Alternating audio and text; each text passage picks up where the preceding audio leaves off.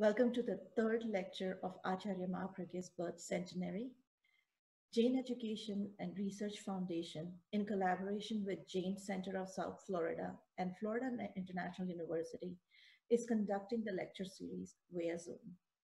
Mahapragya was born on 14 June 1920, and this year it is 2020, so it is the 100th birth centenary we're celebrating. On February 5th, 1995, Mahapragyaji was formally consecrated as the 10th Acharya, the supreme head of the Terapanth religious order. He was a humanitarian leader, a spiritual guru, an ambassador of peace, an ascetic practitioner with intuitive insight. He spent his life striving for universal amity. While an encyclopedia of knowledge, a scholar of Jain religious text, he has contributed greatly to the understanding and dissemination of Jain philosophy and way of life. The two practices that are well known universally is Preksha Dhyan, that is perceptive meditation, that he formulated the system in 1970 in a very well organized and scientific way. The second one is Jivan Vigyan, that is the science of living. Acharya Mahapragyaji conceived the idea of science of living on 28th December 1979, and many camps were organized in order to implement a value-based and moral education for a balanced emotional, intellectual, and physical development. Some of the feedback can be summarized as reduced in stress, improved efficiency, better concentration and memory, better anger management. Henceforth, the lecture series are conducted based on Jainism and science. The first lecture was from our honorable speaker, Sri Narendra Bhandari. Uh, hopefully he's in the guest today on Jainism in modern perspective in the way ahead. And the second lecture was by Sri Narayan, Lal Kachara on doctrine of karma and science. And now I'm going to head over to the co-chair of our JERF, Dr. Nirmal Baid, to welcome the address. Thank you, Deep. Uh, good morning, good evening, Jai Jinendra. On behalf of uh, Jain Education and Research Foundation, I'd like to welcome you all to our third lecture. You know, this year um, we're celebrating the birth centennial of uh, this great saint, uh, Mahapragya. But this celebration also has a special meaning for our foundation because this year, uh, you know, as we are celebrating the birth centennial, we are also celebrating the 10th anniversary of establishing our first fully endowed Jain Studies program in North America at FIU. Um, you know, bringing this program to life uh, has been a direct result of Acharya Shri's immense inspiration and foresight, uh, as well as tireless work by Samniji and our community over many, many years. Acharya Shri was uh, personally interested in having Jain studies take a prominent place in academic institutions. You know, he always said to us that you know, universities teach all kinds of skills and knowledge, but they don't teach wisdom. So how can we create an environment in our universities, you know, where students come to learn universal wisdom that's in our scriptures, wisdom that's applicable to all human beings, whether you are a Jain or not. So that seed that we sowed in Florida 10 years ago is not only flourishing at FIU, but it's kind of turned into a, a, a like a full-fledged banyan tree with Jain studies now spreading to more than 15 universities across America. And through these programs, tens of thousands of students have been um, exposed to and are learning Jain teachings such as Ahimsa and Anekant, um, and Jain practices such as meditation and, and being vegetarian. So, in you know, uh, I just wanted to quote uh, uh, something from our sutra. In Uttaradhyayan Sutra, Bhagwan Mahavir said, "Apana satchame seja," what means what that means is you know search for truth yourself.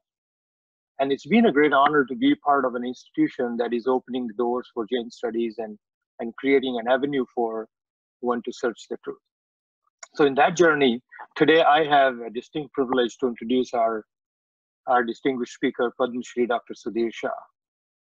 Yeah so dr sudhir shah's uh, has such an impressive list of accomplishments and honors that this hour may not be enough to speak of those. So I reached out to our uh, my dear friend Dr. Uh, Bhandari and asked him what are some of the the big highlights of his career that uh, that we should be talking about. Um, um, so Dr. Bhandari gave me uh, a, a, number of ideas.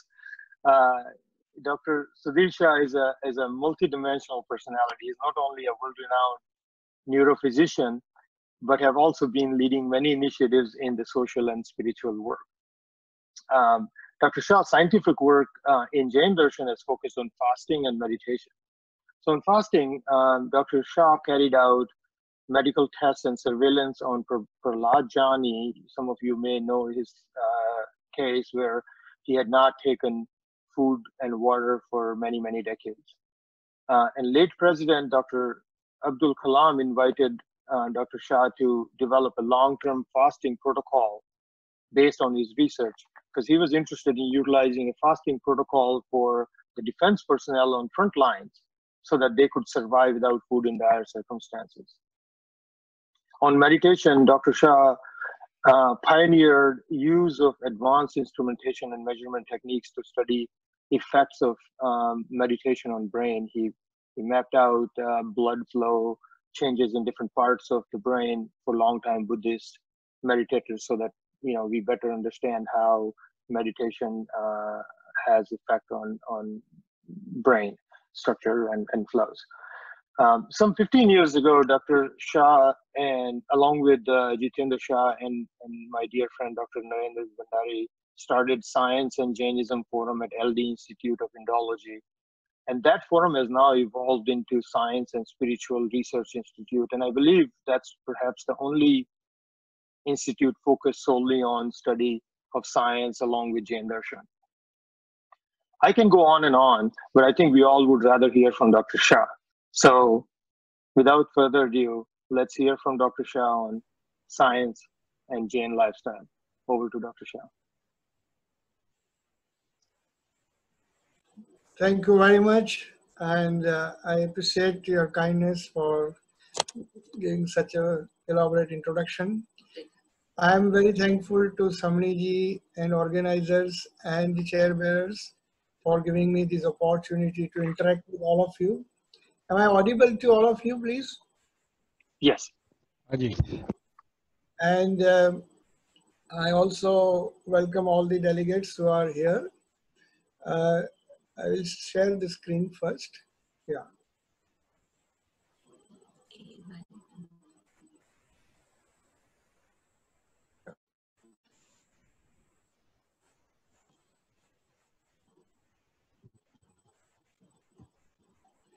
Yeah. So Swamiji has uh, given me this topic, science and Jain lifestyle. And as you know, Jain lifestyle means a lot of things, and some of them we will try to incorporate in my talk. First of all, I am very much thankful that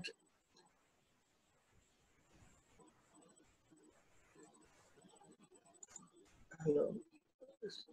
Uh, Acharya Mahapragya had personally given me blessing at a lot of occasions, and this is the picture of my book inauguration, which was done at his reverend hand at Koba in near Gandhinagar. So I'm particularly personally blessed with uh, you know Gurudev.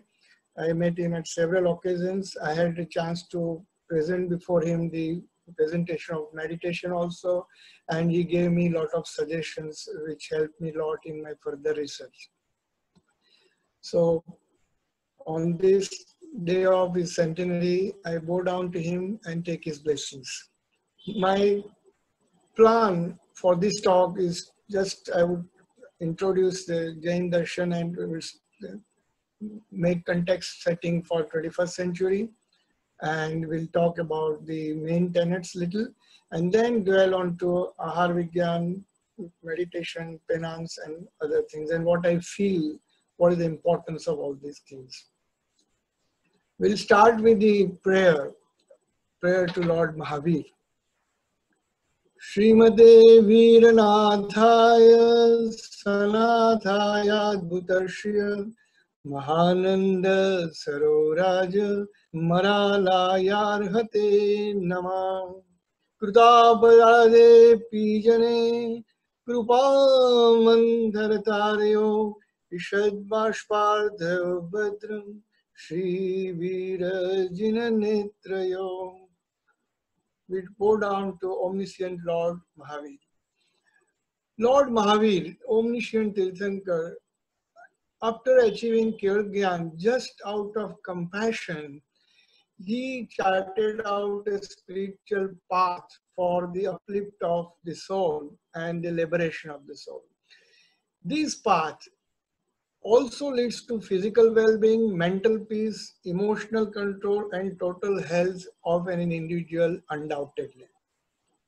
So it is such a wonderful path that has been created. Though it takes you to liberation, it on the way it automatically heals the person, makes him positive for the health, physical health, mental health, and emotional health.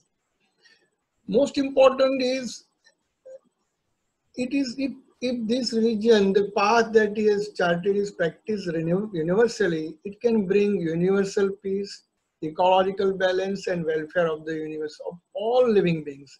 So it can be a global religion. It can solve issues of non-violence, intolerance, terrorism, pollution, capitalism, and lot of burning things that we are seeing. The world is at unrest and everything can be sorted out if everyone follows the principles of Jain religion.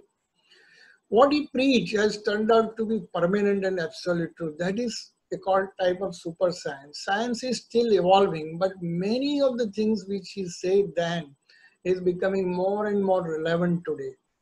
And that's how we can say that he was the greatest scientist Earth has ever seen. And that is just, that can be explained on the basis of Keval Gyan. Only Keval Gyan can explain.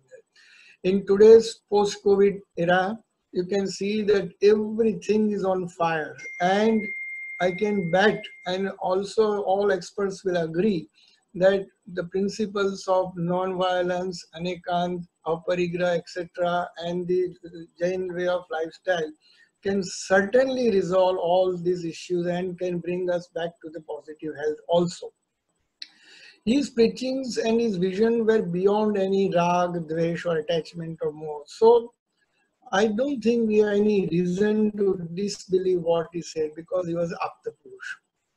Now, what is Jain philosophy? If you really study Jain philosophy, you will agree that it's a complete knowledge. There is इसमें ज्ञान है, विज्ञान भी है और सर्व everything is there. It's a way of life and way of ethics. It's a perfect way of liberation as we discussed. There is a perfect balance of ecological things. There is a classic karmic theory, there is Anekantvad, Syadvad, and all these principles are compatible with these principles of modern science. May it be physics, biology, psychology, physiology, medicine, life science, diet, mathematics, astronomy, chemistry, and whatnot. You see, most important thing uh, which we discuss in our forums is what is dharma? The definition according to Jain religion is the Vattu Sahau Dhammo. Whatever is the real nature of the object, that is Dharma. And that is why our all principles of Jain religion are in, in complete uh, connection to the nature. And therefore, Jain religion, science, and nature are all in tune and therefore they speak the same language and the laws are also same. Similarly, dharayati dharma. Whatever holds us is dharma and that is how the Jain religion has a capacity to hold the whole world. Even the foreign dignitaries and Indian dignitaries have written wonderful words of praise about Jain philosophy. Now, where do I stand? I am a poor guy. I am trying to, you know, go to the tip of Everest with my little small things, or maybe I'm trying to jump across a lake without my enough of the spirit or enough of the courage also. But I have taken this help from expert and I need your help and input also because we want to propagate what we have learned from our religion and I want to give whatever I have understood uh, from all these people and try by reading the text, and that I am going to share with you. Now, everybody wants evidence, relevance, and context. This is the era of science, and you know, every the issue is, you know, the scientific temperament and the scientific language.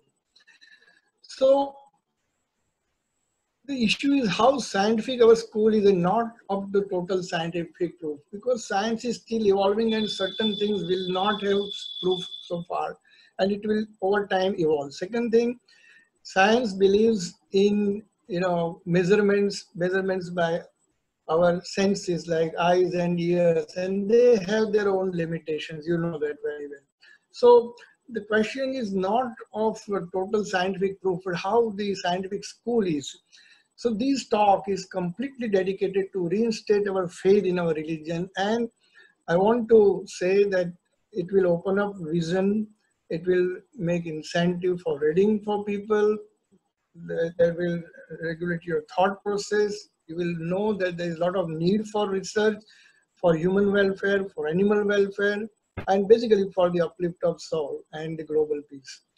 Jain thought can be spreaded and it can do lot of good to the universe as we discussed. And this will ultimately bring respect for the whole Indian culture. And as we go through presentation, you will realize Acharya Mahapragya used to say it is easier to consider Jainism as a scientific religion based on its scientific content. But I feel that Jainism qualifies itself to be placed in the category of a science due to its spirit of scientific inquiry. So it's another way of, you know, it's a scientific uh, text itself. It explores the truth through scientific mode and does not stop till that truth is fully realized. And that is the beauty of Jain Darshan. So let us begin the panoramic tour. You know, this is Lord Mahavir and there are different great scientists, you know, Madame Curie and Einstein and others. And among them, uh, Lord Mahavir stands out as a super scientist. Now, ideally, my this talk would have been in five sections. One is basic sciences like physics, chemistry, what exactly Jain religion says, and uh, how the things might uh, uh you know uh, tally with that. But that section I'm not going to take today. I'm going to focus mainly on Ahar Vigyan, that is food philosophy and science behind Jain tenets and practices. This together will constitute our Jain lifestyle to main, uh, mainly. And then there are other things which could be said on medical science and allied sciences, which we'll not touch today. Before that, I would like to start the, set the context. Now, science and there, as I said, the laws of nature, the laws of science, and laws of Jain Dharma, Vattu Sahav Dhammo, these are almost same. And that is because truth is the same. So, what's what is the law Causality in science is our karma karmavad. Complementarity is anekantvad. Determinism is karambadh paryay. Entanglement is paraspara proguno jivanam. Principles of uncertainty is. Laws of conservation, that is eternal nature of dravya. Similarly, quantum mechanism, uh, coexistence law, all this can be you know very well explained on basis of Jain Darshan. Before I come to the main part of my talk, I will like to put these few lines for those who are novice for Jain Darshan. There are certain verses from the Tattvarthadhigam Sutra which are taken like Anushreni Gati, that the motion occurs in the straight line except you, you give external pressure or external force. Vedadanu, that the atom is the final product of a matter and that cannot be further divided. There cannot be fusion in Anu because it's the final product. Tadbhavavyam nityam, total quantity of matter remains as it is, that is universal matter. Upayogo lakshanam, the sentience is the defining characteristics of a living being. Sangninaha samanaska, the higher the, the mind, the higher the animal will be in the evolution You'll be surprised that is it these are the sentences from a textbook of science or religion, how old it is. Well, these are some of you must be knowing these are from the Tattvarthadhigam Sutra written about in the first century by Uma Swatiji. And the first uh, ever verse of this uh, uh, text is Samyak Darshan Jnana Charitrani Moksha Marga because this is a book of spirituality, it talks about moksha, how you can liberate your soul and attain moksha. And that is Samyak Darshan Gnan Charitrani Moksha But to attain moksha, you have to know what is Jeev, what is Ajiv, how does this uh, motion occurs because the Jeev is going to some place called moksha. So what are the laws of motion, from where it passes? So you have to know cosmology, you have to know other dravyas, you have to know time, space, time, matter, everything. So that is the reason why in this book of spirituality, about 2000 years back, everything uh, is uh, depicted in in physics, chemistry, biology, etc., etc., etc. So that is the depth of Jain religion. Jain religion is a complete philosophy and lifestyle for the Siddhatva. The basic thing is Ratnatrayi Moksha Marga. Samyak Darshan, Samyak Gnan, Samyak Charitra. These are the three important jewels. These are called yoga for achieving moksha. And our main mantra is Namaskar Mahamantra. The important uh, things we have is our basic daily practice is ahimsa, aparigraha, and anika. Simple, harmless, pious, and satisfactory life.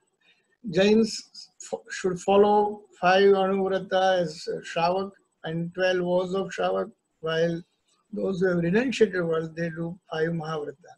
Then there is depiction of 12 types of tapa, 12 bhavana, and so on. Kashaya Nigra is one of the most important quality. Rag, Desh, Nirvan. Forgiveness is our, Uttam Shama is our basic requirement. We have to follow six Avashyak, that is Guru Vandan, Pratikraman, Samay, Kayashchit, Kayasrik meditation we have the jewel of Anekantvad, Syadvad, Karmavad, etc. And our Dharma talks about Sarvavirti Dharma, total stoppage of karma through Ahimsa, Sanyam, Tap. And the four pillars of Dharma are Dan, Shil, Tap, and Bhav. So, in nutshell, this is what Jain Darshan is. There are a lot of other things which we have no time to describe, but based on these simple things, you know, we can uh, construct you know the Jain philosophy. In biology, we have Upayogo Lakshanam, as I mentioned, sentience is the defining characteristics of the soul. As a neurologist or a doctor, if somebody asks me what is the definition of life, there is a very complex definition. It does not convey anything. While in Jain religion, a single two words statement, two words uh, verse, it is written that sentience is a defining characteristic of life. The constant awareness, consciousness, and application of knowledge is upyoga. The one that survives, applies knowledge, and does not disintegrate is karta and is equal to the proportion of body is called jiva.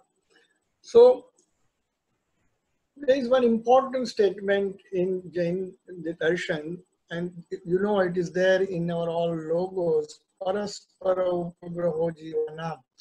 the function of the soul is to render services, usefulness to one another. That is the simple meaning. Each soul is entangled with all the rest in the universe, and we are influenced by the rest. This is the basic tenet of Jain Darshan. The whole Jain Darshan stands firmly on non-violence. And if you hurt one animal here, the whole universe is disturbed and ultimately you yourself will be disturbed. So non-violence is the most important thing. And if you go from the basis of physics and science, you know what Max said? Mach's principle says that the inertial mass of a particle is a result of the interaction of mass of other bodies in the rest of the universe. So you can extend it to the life and can say the life of even the smallest being is as a result of the interaction of life in the rest of the universe. No one can survive by himself. That is, if I destroy life from this earth or, or, or create or hurt life somewhere on the earth, I'll automatically be hurted or I'll be ceasing to exist. So that is, this immediately leads to the principle of non-violence. Why I'm saying this? Because the whole Ahar Vigyan and the TAP, etc., it will be fundamentally related to non-violence. Entanglement is a EPR paradox, as you must be aware, who students of science, they would know. Whatever happened to one particle would thus immediately affect the other particle, whatever in the universe it may be. Einstein called it the spooky action at a distance. So with that, I am now starting uh, Ahar Vigyan, one of the important aspects of lifestyle. You know what? The Jain darshan goes into the depth of philosophy of food. We are not talking about quantitative aspects only, but we talk about qualitative aspects, sattva, rajas, and tamas. Sattvic food, rajasic food is your vigai, and tamasic food is mahavigai. That we'll come to see. Modern science is confined of determining the caloric values of and classification into vitamins, proteins, and carbohydrate content. But the Jain school of thought has gone into the subtler properties of various food items and deal with its psychic as well as physical properties, like sattva, rajas, and tamas. So one is types of food, then food habits, how to eat, when to eat, etc., etc. Then we recommend always drink water after boiling and then cooling it down or filtering water.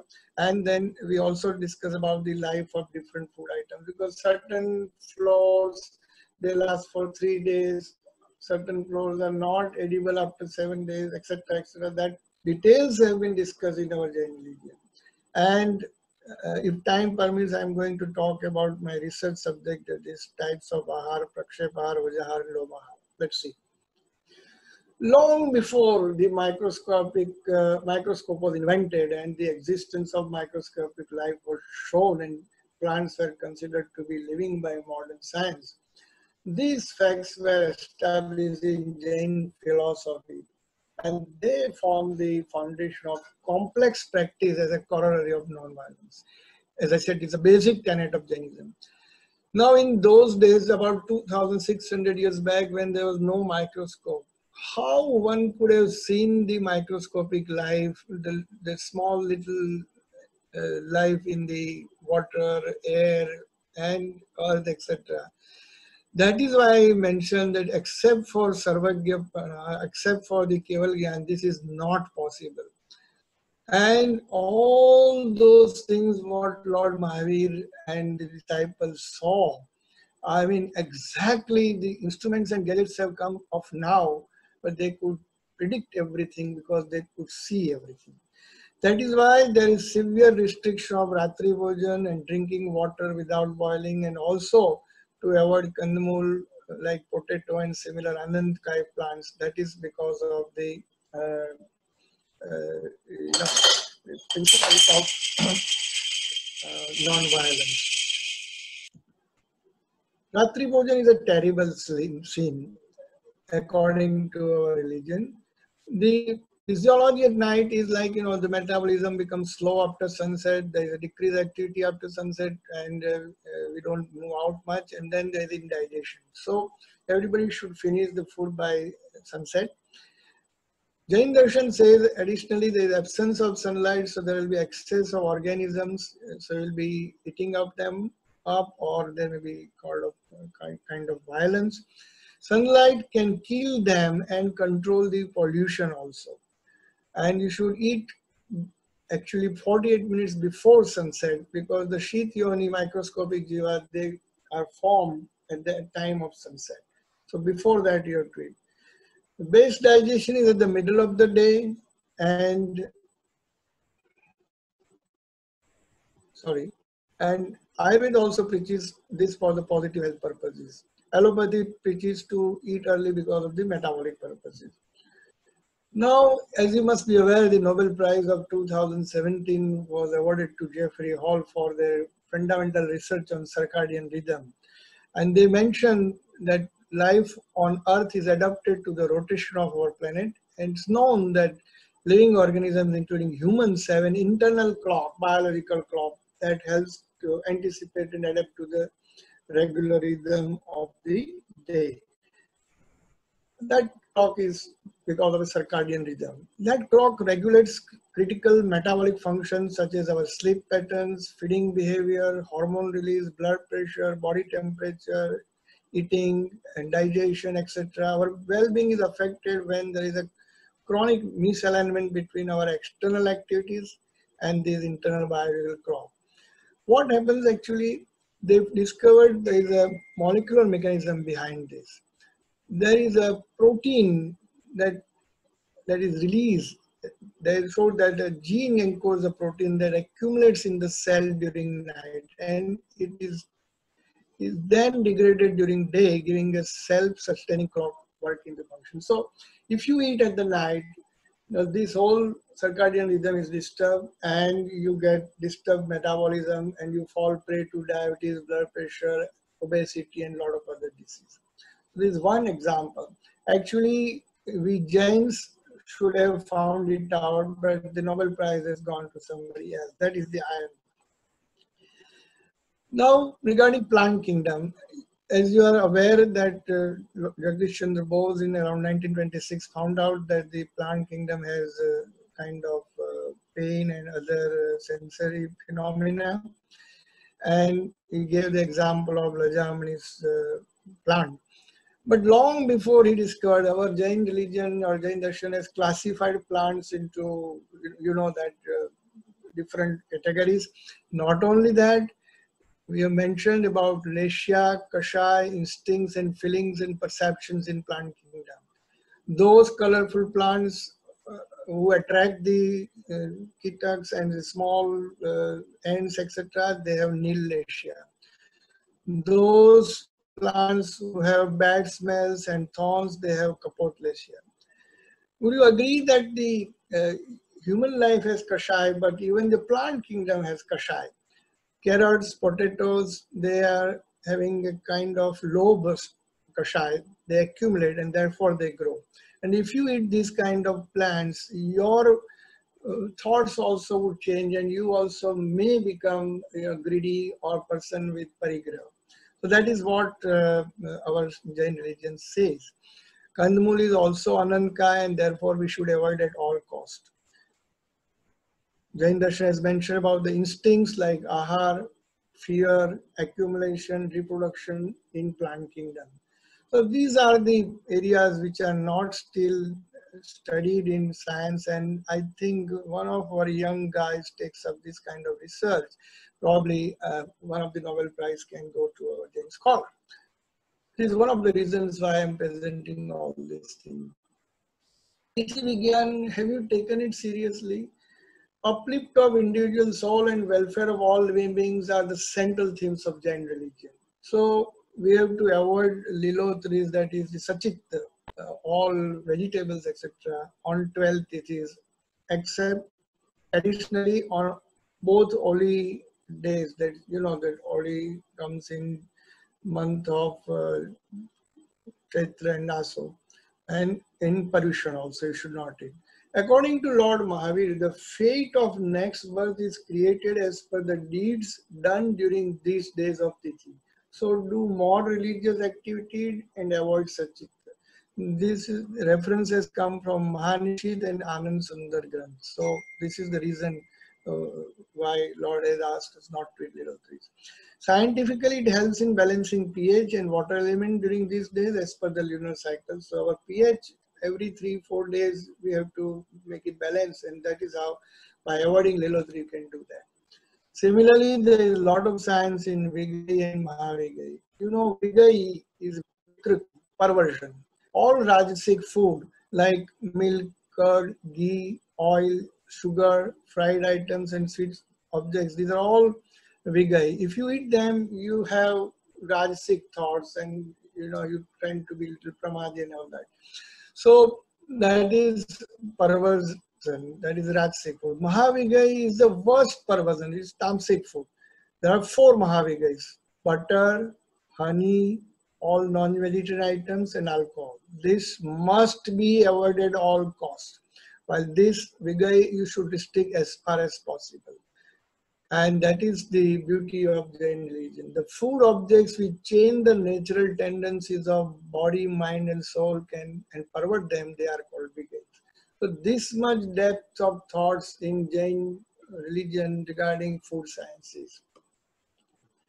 So if I summarize, Pratidin, we have to eat daily uh, fresh food, sattvic food, non-vegetarian should be avoided, no kind of meat, eggs or fish should be taken. You should also not take uh, honey, butter, etc. No alcohol, filter boiled water you should take and take your food before sunset and next day after sunrise after an hour. So you should try and do uh, fasting at least once a month or at least uh, if possible once a week. We should uh, avoid all those vigor we have discussed. We should take less food than what is required. Maybe you eat three or four uh, less. You take little less than what you feel to eat. You know that is called unodriva. And while you are eating, you don't uh, use mobile, television, etc. So that is something about the Ahar Vigyan. We'll talk a little about the science behind Jain tenets and practices. As I mentioned earlier, there are about uh, 12 types of uh, tapa. Six are external and six are internal. What is external? It is related to your body. Anushan, Unodari, Vritti, Sanshep, Rasatyaga, Kaya, Kleshan, Sanlinta. Abhyantara are related to your mind and soul. Pratya, Prayashchit, Vinay, Vyavacha, Swadhyay, Kayasarg, and meditation. We'll see one by one. There are two types of, we have discussed, external and internal, right? Now,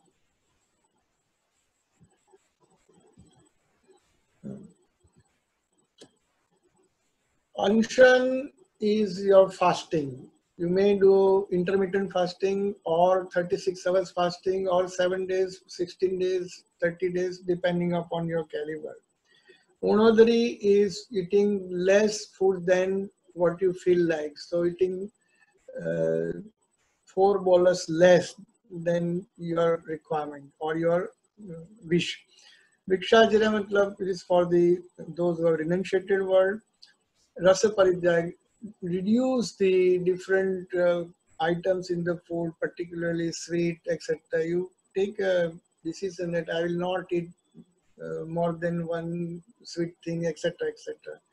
And Sanlita. These are the different types of uh, external woes. Uh, as I mentioned, not to eat milk, curd, ghee, oil, etc. This is called rasa parityag. And then you have to uh, remain alone, aloof, and not to meet many people. That is called sanlinta. So there are certain austerities which we should know. To use very limited items and with caution is a practice of non-violence. Collectiveness and overutilization is also violence. This is a very profound statement. Aparigraha when we follow non-collectiveness, we are automatically following non-violence. When we take much more things than required from the system, you are actually doing harm or injustice to somebody else. That thing belongs to others. When you take away that thing, that is a kind of violence. That is what, how much microscopic details our religion is seeing. And this is the reason why you do austerities. One of the reasons, okay? Vyasana is a discipline eating habit. Don't eat junk. Have boiled water, no food and water after sunset. Take only two times meals during the day. It is very simple. Ekasana, you know that you eat once a day that and give rest to the body, rest to the stomach system and avoid abhaksha, anantkay and apatya food. So and avoid all perversions, vigai, mahavigai and only eat moderate amount of sattvic food. That is ekasana. Ayambil, you know, is a totally dry kind of food. Avoid all vigai, no mahavigai, so control of pitta and kapha automatically occurs in Ayurvedic language. You don't have to eat spices, and that gives control over your tongue, your senses, your kashayas are reduced, your power on mind increase. There is no lilotri, no sachita, so pitta is also avoided. So all three dosha, according to Ayurveda expert, I was sitting with them and they explained me all these things. So this is how the Ayambal is done. Uh, and you know the Oli of Ayambal, we do twice a year at Sandhikal, months of Chaitra and Aso. Why at this particular time? Because the Sharad Ritu and that particularly the Bhadravaso and this Hemant, these are the seasons where the maximum kind of uh, diseases occur they say that these are the father and mother of Vaidya. The, all the doctors thrive on these two ritus. And if you do little care, if you exercise care and do only, your all toxins are removed and you don't get uh, disease. Then is the fasting, sitting near your Atman. What is Upavasa? Upa means near, vas means your stay. Sitting in your own soul, Atman for 36 hours. That is, uh, there are two types, Tivihar and Chavihar Upvas. In Chavihar, you don't have to take even water. In Tivihar, you can take water till sunset. And we had done a project of prolonged fasting with Defense Institute of uh, Physiology and Allied Science on those Jains uh, who were doing fasting for 8 days, 16 days, 30 days. And we had control study with you know people who were not fasting. And the findings were amazing of those pilot study. We wanted to take a little more extensive search, research on that, but for some reason it is not materialized. We'll be doing in the coming years. But what we found that uh, the physiology and biological parameters of those people who do fasting are much, much better than the people who are randomly eating. And the hormonal function, autonomic functions are also much better. So fasting has also a profound effect on your physiology and biology and mental systems. There is Atmaniyantran, Manonigra, and there should be is a detox mechanism. So balancing of all dosha and uh, uh, Malakriya, Swasthya, everything is under control with that. Now the other Nobel Prize, if I talk here, is on the fasting that has gone to Y. Ohsumi on for autophagy. I'm sure you must be aware of this uh, particular Nobel Prize. Now, what is autophagy? Autophagy means eating oneself. I'm thankful to Professor Bhandari for giving me these slides. Uh, he was very kind enough to impart this. Now, autophagy means eating oneself. Physical body is Avdarik Sharir and it contains, you know, how many cells we have? 50 trillion cells in our body and most of the cells are in the process of regeneration and degeneration. So we are replaced every now and then. Our in one year, our whole body, so to say, is replaced because the cells die. Now, what happens to these cells? These cells are excreted by our respiratory chain by carbon dioxide mechanism or through perspiration or through excretion by the liver and kidney mechanisms or through gut. But still there are so many million cells which remain in the body. And if you give rest to the digestive system, if you don't eat anything, if you don't give energy to the body, the surviving cells will have to survive on something and so they eat up those dead cells and therefore there is a detox process and this autophagy eating our own body cells. The dead cells are eaten by the surviving cells, and that creates a cell sense of balance in the body. The diseases are removed, and this is one of the greatest natural law and the law of science and biology that you come to a state of steadiness and you become uh, very very agile. You have a lot of energy and you don't fall prey to disease disease like cancer are related to overeating and if you give fasting disease like cancer heart disease your rheumatism asthma blood pressure obesity diabetes can be reduced this is the connotation of this research And even the Harvard study has come out with the similar effect of fasting on aging. The aging process is reversed. Unfortunately, you know, this study mentions about Islamic fasting, Buddhism fasting, Christianity, but nowhere our Jainism is mentioned. And guys, we have to work hard on this because the fasting and the know, depth of fasting which we have is, I don't think any religion has gone into this much depth and this much science. So we have to correct this.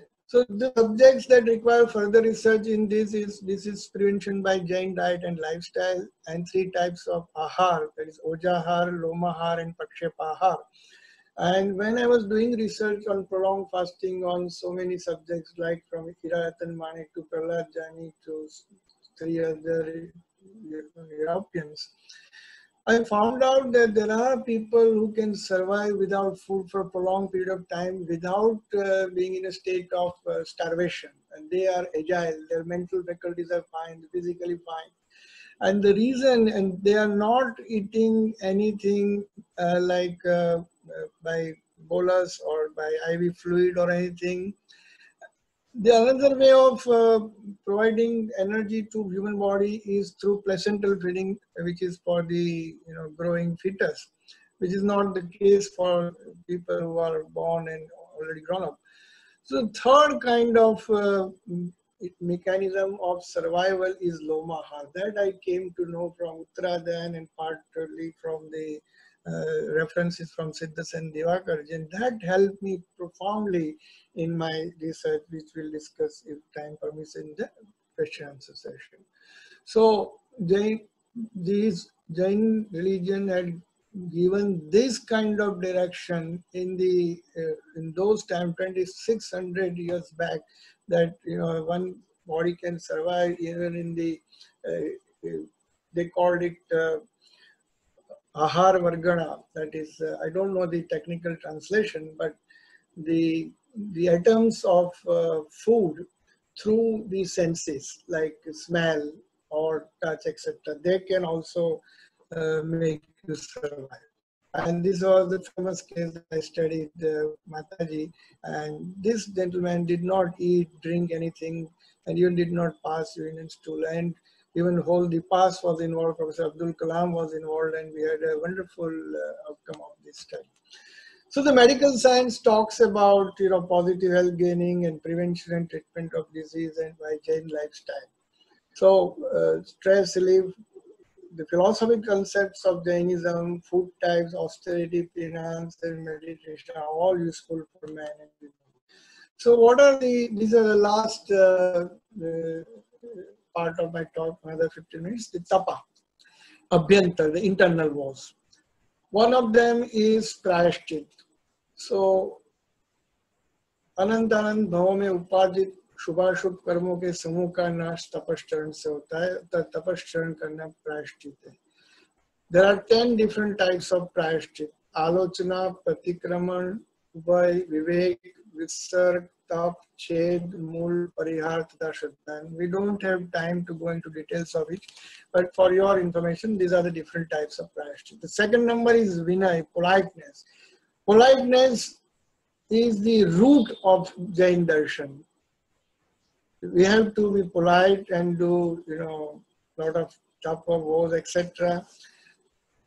Jain darshan says the one who is without politeness how he will attain any kind of uh, moksha or any kind of uh, penance or any kind of uh, dharma or moksha kaisa. Vinay is the door to moksha. So that much is the importance of Vinay. If you have Vinay, then politeness, then only you will have uh, knowledge. So we, one must follow Vinamrata and Whenever the elderly comes or the teacher comes, you have to get up, you have to uh, raise hands and join hands and give them proper place to sit. And when they go, you have to go to the door and give them proper send off, etc. etc. And there are five different types. They have gone to so much details darshan vinay, gnan vinay, charitra vinay, tap vinay, opcharik vinay. All this is the depth of Jain religion.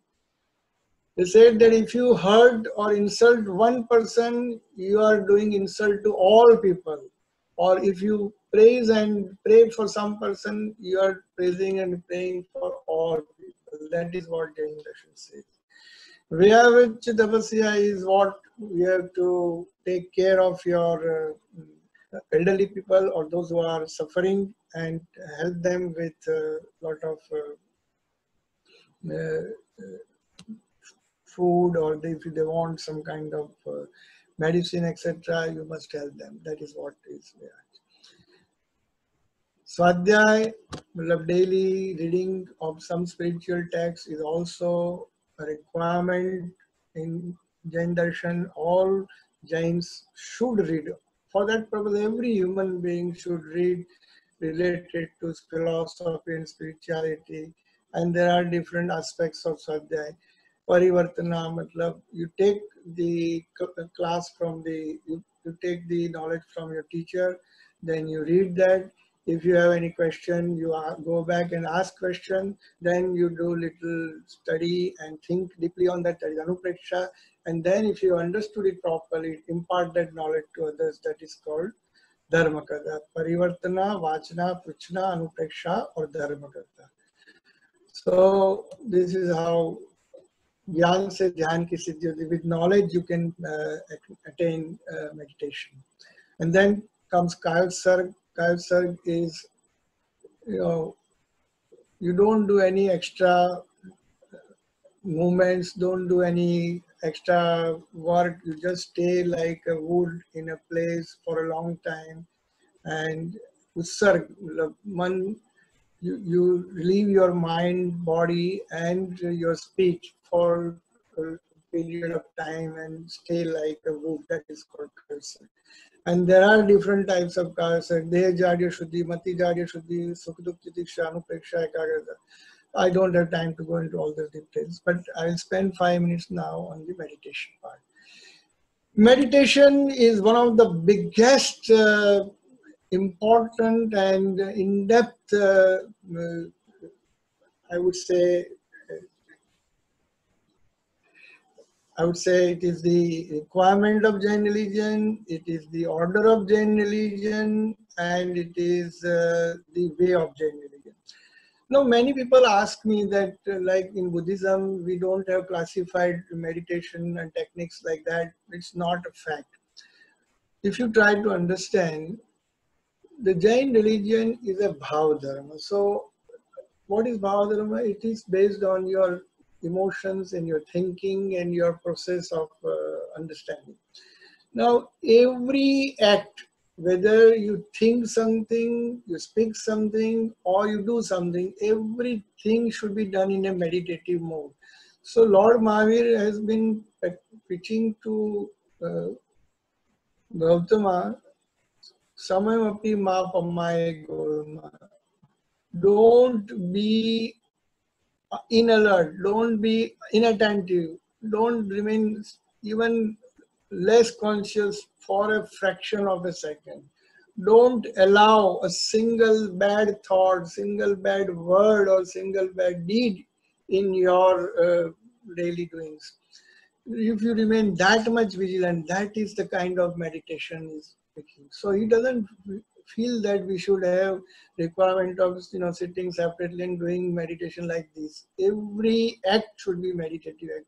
And therefore you will not see different kind of systems still still there are some classified ways. One is the quantitative and another is qualitative meditation. Qualitative meditation is our dharma dhyan and shukla dhyan against your artha dhyan and raudra dhyan. If you if you think uh, your Dharma and Shukla Dhyana are good, they're excellent remedy for all types of health. Then there are other types of meditation. Our Samai, Kayosarg, Pratikramana are also super meditation if you properly understand and do it. As our Guruji has taught us, Prekshadhyan, part of Vipassana, Granthi Ved, Atmadhyan, these are also different types of meditation. And Padastha, Pindastha, Rupastha and Rupa. These are also different types of meditation as mentioned in Yoga Shastra by Kalikal Hemchandracharya. So it is not that there are no, no mention of meditation. There are several meditations, but because this is about dharma, everything should be in a meditative mode. Let us look at Samiks. Samatva bhav, karma nijra, way to liberation. Samatva towers living being, no rag, no dvesha. And samatva towers objects, so no more and. When you sit in Samik for 48 minutes, you are in a complete state of balance of mind and there is no rag, no dvesh, no more, no show. There is no attachment, no perversions, no hatred, nothing. You are in a still frame of mind just sitting with your Atma. Samay, the another meaning of Samay is Atma, your soul. So when you are sitting with your soul, the whole world is at, is at pause. There is nothing to be done. And this is one of the best meditation. Pratikraman is also another good meditation where you do everything in presence of your teacher or guru, where you are uh, stress-free, guilt-free, disease-free, this is followed by prayashchit and sadhana. You know the three important aspects of pratikram. There is a prayashchit that takes care of past tense. Whatever bad things you have done is removed by prayashchit. The second part is vishuddhi, which takes care of the present tense, and vishalya takes care of the future tense. The, on the three pretexts, the whole pratikram is built up, and there are six avashyak to be done in that. So dharma dhyan is Atma Shuddhi through Vritti and Pravrutti, that is Dharma Dhyan. And Shukla Dhyan, as I mentioned, was a contemplation about the soul and the experience. These are two excellent remedy for all types of health and spiritual. While what we are doing is always Artha Dhyan and Raudra Dhyan. Artha Dhyan is what Ishta and Anishta Prapti. Whatever we wish we don't get, and whatever we don't want we get, that is called Arthadhyan. And then we start, start blaming things and people and everything. Instead of that, if you if we switch our gear to Dharma Dhyan or Shukla Dhyan, we will be in elevated state. Similarly, Raudra Dhyan is worse thoughts through violence, theft, promiscuity. These are the Raudra Dhyan, worse thoughts of violence, theft. Is, that should be again changed to Dharma Dhyan, Shukla Dhyan. Every moment you have to watch your thought, and that is what is the preaching of Lord Mahavir. Samayik and Kayasarg are super meditation. Kayasarg takes care of asan pratyahar also. And that is why Samayam Goyam Mapamaye, that Dhruv Vakya, every other minute, Lord Mahavir used to preach Gautam, Samayam Api be careful, be attentive, be meditative, every fraction of a second. That is the preaching of the meditation. As you know, as a neurologist, uh, when I was studying uh, the different thoughts in a machine called SPECT with my counterpart at uh, Pennsylvania University, Penn, Professor Andrew Newberg, we found that every thought is depicted in the brain. If you have a thought of uh, praise, love, violence, care, hatred, jealousy, everything is depicted in the brain. Don't think that the thoughts are at, uh, abstract Lord Mahavir used to say the, the karma band is same if you have kind of thought or if you utter a bad word or you do bad deed. In those days, without this fancy machine, he could say that thoughts were atomic. And this atomic representation we are now seeing over last 15 years or 20 years, that every thought is atomic. That is depicted in brain.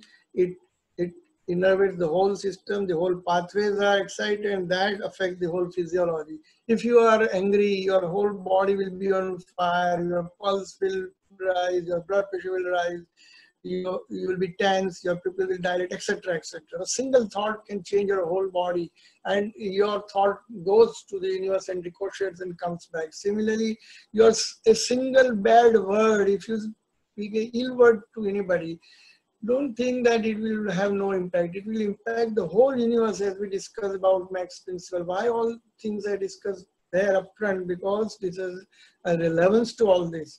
So without all these machines, Sarvagya Bhagavan Mahavir could see that thought, words and uh, deeds have similar mechanisms and they are the reason of your karma And that is why different types of dhyan mudras have been suggested But he said all the time that out of all meditation, the best is the meditation of the soul on the soul itself. To remain constantly aware of the soul and its characteristics and its functions. To dissociate soul from the body at every moment. And the sentinence, the application of knowledge, is the ultimate knowledge. आत्मा को आत्मा से जीतो सबसे बड़ी जीत अपनी आत्मा के ऊपर की जीत है that is what use to से समय महापमाए Gurma after meditation, Jain Darshan commands that you should have anupreksha. You should think of the 16 bhavnas. You know the Asharan, Anitya, the Odi, the love, Samsara bhavana, Ekatva bhavana, Ashuji bhavana. All these bhavnas you should think. And for interpersonal relationship, Maitri, Pramod, Karunya, Madhyasya bhavana, one should follow.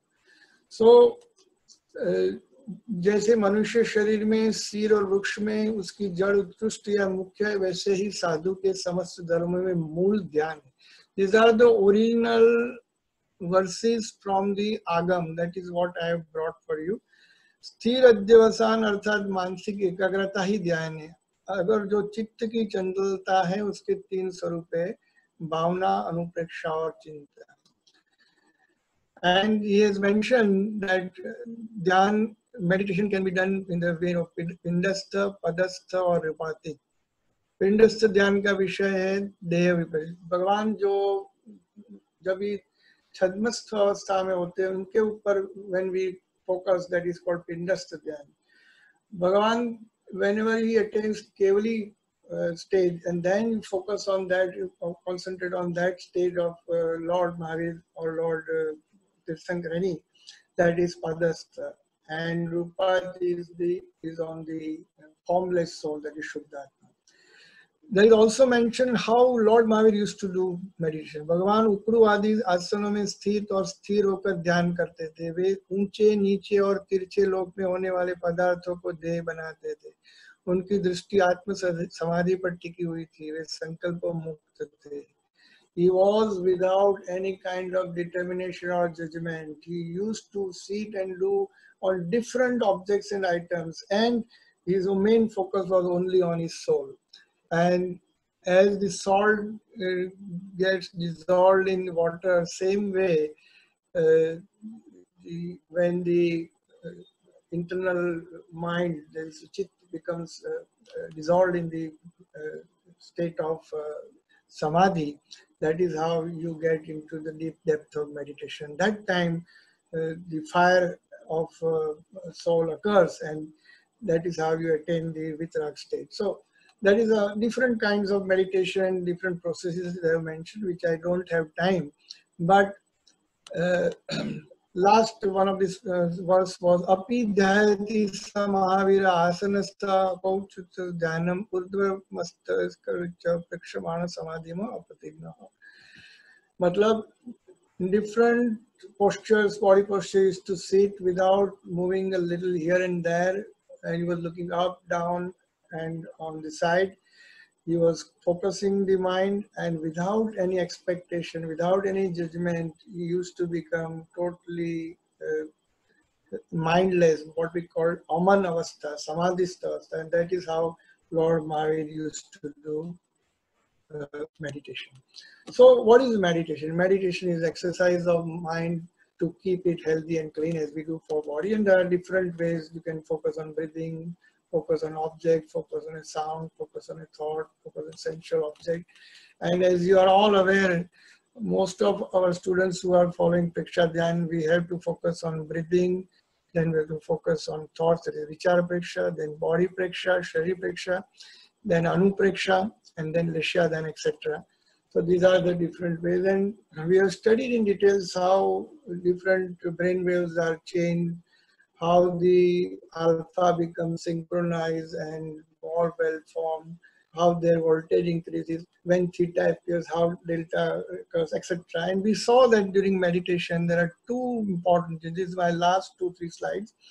The frontal part of the brain, uh, this part which is responsible for humans to impart their knowledge, wisdom, judgment, intelligence, cognition, executive function, prioritization, everything, which is why human race is superior to all immediately inferior animals is because of this prefrontal lobe. And as you can see that this is the red part showing blood flow in SPECT machine. And before meditation, the blood flow was like this. And after meditative session, the blood flow increases to 30% or so in one session of meditation of 30 to 45 minutes. So guys, you can understand that with meditation, our intelligence, memory, judgment, cognition, prioritization, etc. improves profoundly. And think of those people who do daily for longer times. So why, which is why these people could, like our Gurudev, why he could see so many things and could do a lot of activities with so much precision and why he had so great intelligence and memory because of meditation.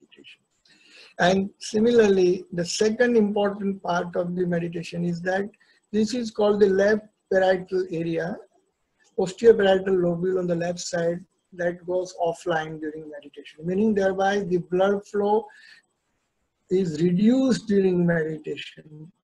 Here the reverse effect. In the prefrontal area, the blood flow increases. Here it is decreased and that is for our benefit because this area is responsible for our orientation to time, place, and person. I studied with this Andrew Newberg of Pennsylvania, and we found out that our uh, thoughts, emotions, desires, perversions, etc., are manifested, our ego, they are manifested through our orientation to time, place, person. This is the faculty of mind which operates through universal area. And if during meditation this part is shut down, then over time a meditator becomes profoundly peaceful, at peace with himself or herself. There'll be less of the thoughts, lots, desires are reduced, and the kashai, rag, etc. reduced. So this is what is the importance of uh, meditation. And uh, uh, we have also studied the perception of joy and on fMRI. This is functional fMRI machine which shows reduction in the uh, capacity of you know the area where the blood flow is focused. But when you focus on yourself, your Atman, your consciousness, there is only a dot area where the blood flow is focused, so the activity is increased. So this is how it helps in your uh, lot of uh, improvement uh, in your pathways, your concentration, your abilities. And there are a lot of neurochemical changes and psychological changes, your personality changes, your attitude changes. You become socially more uh, uh person, your tolerance increases, your compassion increases. This is a connotation to your terrorism and lot of unrest across the world in between people and countries. So meditation, if they do, their mood, behavior, memory, compassion, tolerance, everything can increase, your attitude and personality can change. And lastly, uh, all compounded whatever discussed today, Jain Ahar, lifestyle, different external, internal woes, they reflect on your disease control also. When you go to a coronary heart doctor, if you have heart attack, what he will say? You do exercise, eat simple food, avoid oil, jaggery and sweet things, avoid vigai, do sattvic food, go for walks. So our Jain religion talks of Padyatra, go daily to five different temples. Your food habits should be changed. You do austerity, weight reduction, healthy body and mind. That is what our tapas are teaching us attitude change, he will say. So mental and emotional peace, samayik, pratikraman, meditation. So all these things are inbuilt in our spiritual pathway, It imparts us wonderful health. And we at National Jain Doctors Federation, where I was the uh, chairman of the National Jain Doctor Federation of India, we had four major conferences. We discussed the subjects and we did a lot of research projects on this and how it helps in gastrointestinal disease, mental illnesses, neurological illnesses, cancer. The Jain lifestyle helps in all these things. Taking into account the current uh, thing that is our our uh, corona episode, how can we forget? Now, Muhpatti is your mask. Boiled water they are asking to drink. Fresh food they are asking to eat. Sangata is your social distancing, which is also mentioned in our Jain religion. You will be surprised if you have not read, go and capture this text, Ogh Niryukti, written by Acharya Bhadrabahuji in second century BC. When similar kind of uh, epidemic, pandemic had occurred and he had observed how you can get rid of this by doing all these things and this is what uh, Jain Darshan has given to the world. So these are my, uh, my last word of message. Prevention of lifestyle disease, heart disease, cancer, stroke, and creating positive health you can do by Jain lifestyle, purification of body and purification of mind. If you follow six rituals daily do Kshamapna, do Padhyatra exercise, do penance, follow the Ahar Vigyan, avoid uh, night uh, eating and avoid Kandamul rice potato, etc. Avoid Vigai, avoid Mahavigai, follow the Vigyan, do positive thoughts, attitude changing, take care of your Kashai, do 12 bhavnas, do daily Sarg and meditation, do Namaskar mantra chanting, and follow the four pillars of Dharma, Ahimsa, Sanyam, Tap, or Dan, Shil, Tap, and Bhav. And mainly follow Ahimsa, Anekant, Aparigraha in nutshell, this is Darshan. Friends, so this talk is again, I'm telling, dedicated for Samyak Darshan to bring your faith back to our Jinwani because I see a lot of Jain youths moving away from our religion, telling that there is no truth or no science. I am poor guy, I am not an expert on either side, but I have compiled everything for all of you you make modification, do further research, do daily subject, do readings, and those who are in a place of research like PhD students or experts in different basic sciences or medical sciences, and those who have gazettes, do research. Religion requires to be presented in the context of science so that all humanity will follow. Let us present our religion in a scientific language, scientific temper, and methodology and logic. It will solve I bet you, and you, you must have seen, it can solve many problems of world and will bring global peace and global welfare. Intolerance, pollution, consumerism, everything can be resolved. And science and world both need direction, friends, and we can do that. So please, once again, if I remind, be alert and attentive at every fraction of a second. Please don't allow your enemies to take charge of your consciousness, speech, or deeds. This is the supreme meditation. I had an honor to give this dossier to His Holiness Dalai Lama ji and of course to Uh, Professor Abdul Kalam. In one of my meetings, we had a discussion of Jain religion and the scientific aspects. So I'm lucky and I had a chance to go through a lot of literature and I, I may suggest you to read Tattva Sutra, Samay Sar Bhagavad T Sutra, Uttaradhyayan Sutra, etc. and other agams. And I'm thankful to Professor Bhandari, Jitubhai Shah, and all other experts from whom I've taken time to time guidance. And I'm very much thankful to all of you for kind listening. I think I've uh, taken a lot of your time. Thank you very much. And I, I, I really uh, want to uh, want to wholeheartedly thank you once again for all your uh, kindness. Thank you very much.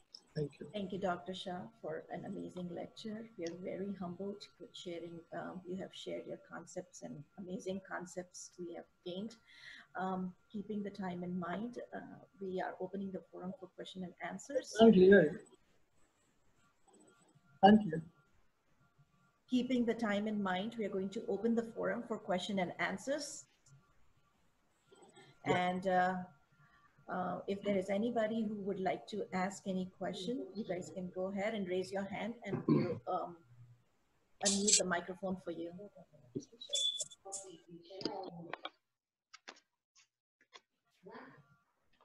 Um, Dr. Shah, I would like to ask you a question is, uh, can you please tell me something about your research on Yogi Prahlad Jani, who had prolonged fasting? What was your hypothesis on prolonged fasting? Well, that's a great question, and uh, if I really answer it properly, it will take uh, at least one hour for me to explain. But basically, Prahlad Jani is a unique case, and his claim was that he did not eat anything, not even a morsel of food, did not drink anything, and that he did not pass urine and stool. Now, these claims not passing automatically gives you an alert. So, we asked him to get admitted in the hospital under our surveillance, and we wanted to to confirm what he said, and at the same time, we wanted to do a lot of tests, which he agreed. His only uh, request was to not give anything intravenously, like any dye, or we should not put any scope inside the body. We studied him for 10 days and 10 nights for first time in 2003, and at the suggestion of Professor Abdul Kalam, we repeated the study in 2010 with the past team for 15 days and nights. To our surprise, during these days, he did not eat a morsel of food, he did not pass urine, he did not drink uh, water, and he did not pass stool. And you can understand there were 24 super specialists in the team 32 basic scientists and 400 people in the surveillance team. And there were CCTV camera, there were people outside his room, his bathroom was sealed, and all different kind of highest possible uh, kind of uh, measurements you can think of. We did all study, biological study, physiology, biology. We studied his MRI of the brain, brain angiography by MRI, coronary studies, angiography by MRI, liver, kidney, MRI, cholangiography, MRI, abdomen, chest, everything we did. And we did genetics what we found that he has a closed of system. He used to form urine in the bladder. It would appear in the morning and disappear in the evening, and again it would reappear some other day after. So there was a reabsorption phenomenon in his body. His genetic expression showed that his fat, protein, and carbohydrate metabolism are interwoven, and he, he recycles the energy in his body four different mutations which are unique and nobody is able to interpret that because on earth there is no such case. So we don't know how to interpret those abnormal mutated genes. There is a kind of chronic adaptation in his body. There is a kind of uh, recycling of energy in his body. There is a genetic mutation in his body and fourth that he is taking energy from the surrounding part of the uh, body. Like is able to take energy from the solar, from the uh, you know from air, from the human beings. He can withdraw knowingly or unknowingly energy from other parts. And we have some indirect evidence of this thing, which we could not uh, actually document because science is not able to measure the energy transfer mechanism as yet. But this is how it's so weird, but uh, we have documented that he did not eat or drink during 15 days. And you know what? If a person does not pass urine for four days, he needs dialysis. His kidney would fail, but nothing of that sort happened. So he is able to maintain his body by. So this we're going to take another question. Thank you, Dr. Shah. I'm sorry to um, yeah. interrupt you, but uh, we have Divesh Achalia. Uh, you can unmute your microphone, Mr. Achia, and ask the question.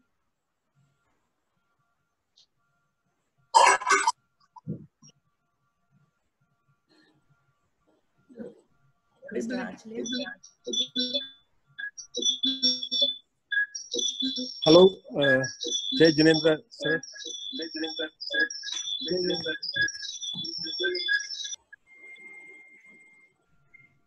Hello.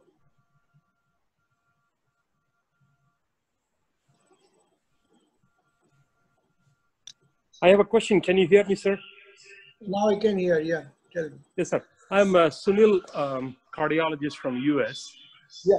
Uh, one second, sir. It's echo, echoing me. There is a lot of disturbance. Um, I have. One question, sir. Um, in regards to the meditation, quite a lot has been uh, enforced on um, meditating in the in between the eyebrows, darshan kendra. They say it affects the pituitary gland. And uh, can you give us like one or two lines? What happens in the gland when we meditate there? And uh, is there a hormone production there? How is how how it helps us? Thank you.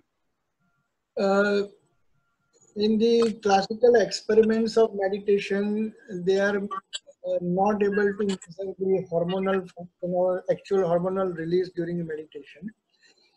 If at all you have to study that, you have to do CSF level, and there are no studies about the pituitary hormones during meditation. Actually, when you are focusing between two eyebrows, it is ideally pineal gland and not the pituitary gland. And the pineal gland is Agna Chakra, and that is what is excited during meditation. It is uh, the standard literature mentions about that. I don't think pituitary gland related correlations been found either on MRI or neurochemical wise. We, we have not found any kind of uh, uh, appropriate correlates during meditation. There are only three circuits that have been studied. One is the prefrontal circuit, the other is left parietal, and third is the limbic circuit, which I have not shown. But these are three areas. And through limbic, it has effect on hypothalamus, not pituitary.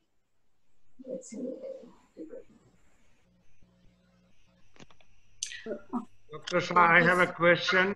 Uh, my name is Dr. Manyar. I'm neurologist. Uh, uh, it's more of a comment. Excellent presentation, and those SPECS imagings were very, very vivid and convincing.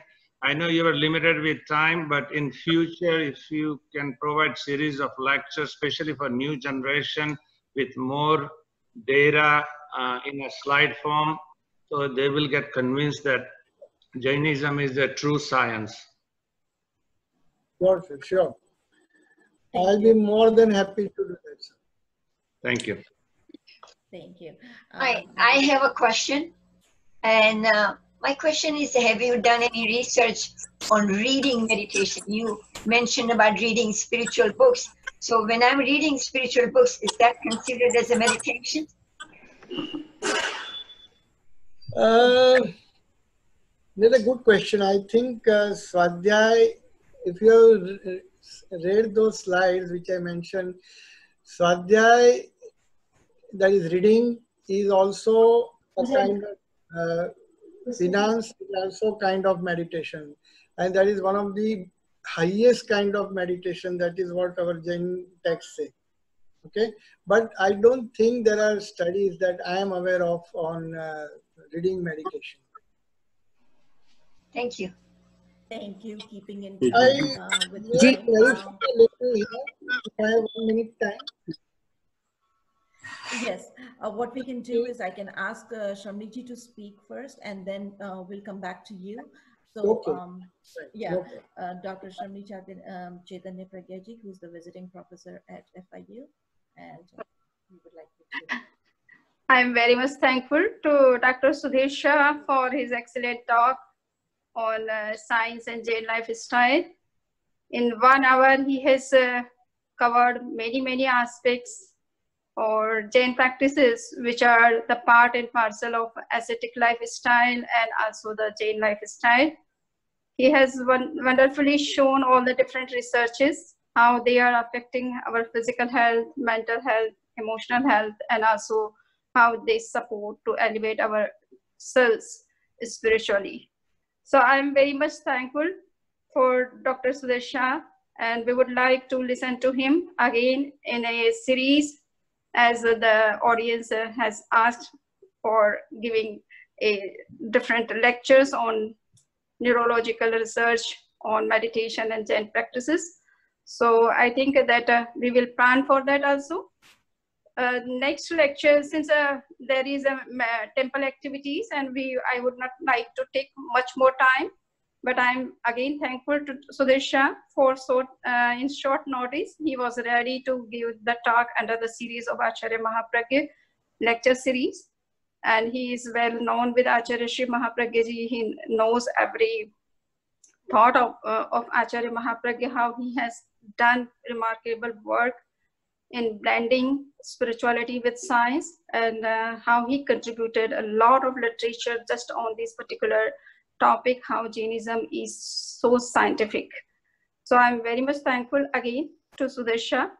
And uh, just I want to announce that the next lecture would be on 19th uh, July, and it would be uh, by Dr. Uh, Prof Professor Deepak Jain.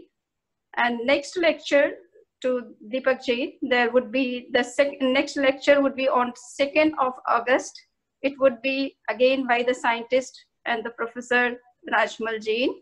So I would request to all of you, all the audience to attend all the different lectures which are coming in our series. And there are almost uh, nine lectures who would come in the series on different aspects of science and Jainism. And you would learn how Jainism is scientific in its all, practices and its all principles. As Sudarsai already said that Jainism is focused on the natural laws because it is a deep study of the nature of realities. And that's why you can see that how science and Jainism are going parallel or together. So thank, thank you again to all the audience, all the organizers, and also the speaker, Dr. Sudhir Shah. Um, Dr. Shah, um, if you would like to say something, remember you wanted to speak, uh, so let me know. Uh, yeah. I mean, the audience are waiting. Um, so, uh, and also the... I have um, Bharti Shah who would like to um, do a vote of thanks once you are done. So, yeah. I'll just take one or two minutes. See, if you take, uh, for example, uh, mantra jap and mantra dhyan, when you chant Om Namanantam, Namanantam, Namanantam, that is kind of mantra jap. But when it becomes meditation, you have to understand. Similarly, when you are reading, there is simple reading, but when you are reading and it becomes meditation, it's the same analogy that I am giving. When you are focusing on a mantra with the meaning of the mantra, you become identified with that mantra or you you go to the vibrational part of the mantra.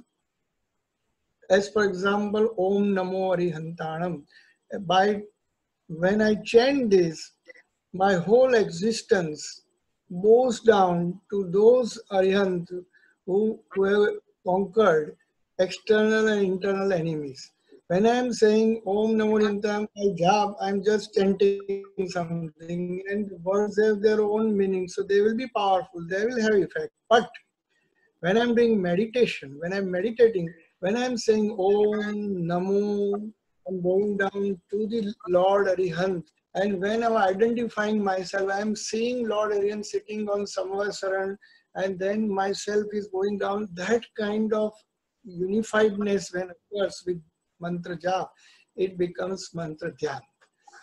That is how every act should be like this. When you read, you are there, the, the observer, the seer, and the object are unified.